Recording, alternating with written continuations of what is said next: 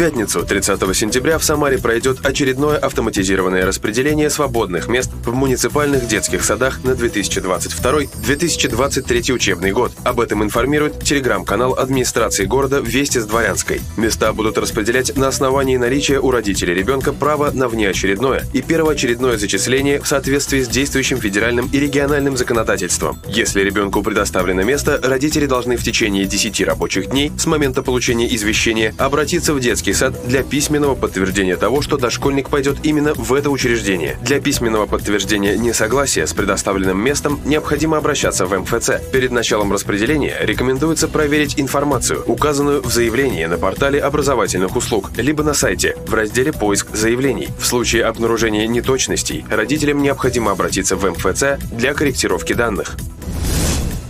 29 сентября на площадке Самарской областной библиотеки для молодежи пройдет литературный диктант, сообщает телеграм-канал администрации железнодорожного района Самары. Любители русского языка и литературы, а также все желающие, могут принять участие и проверить свои знания. Участники, победители и отличники диктанта получат дипломы и сертификаты. Литературный диктант будет проходить в 13.00 по адресу проспект Ленина, 14.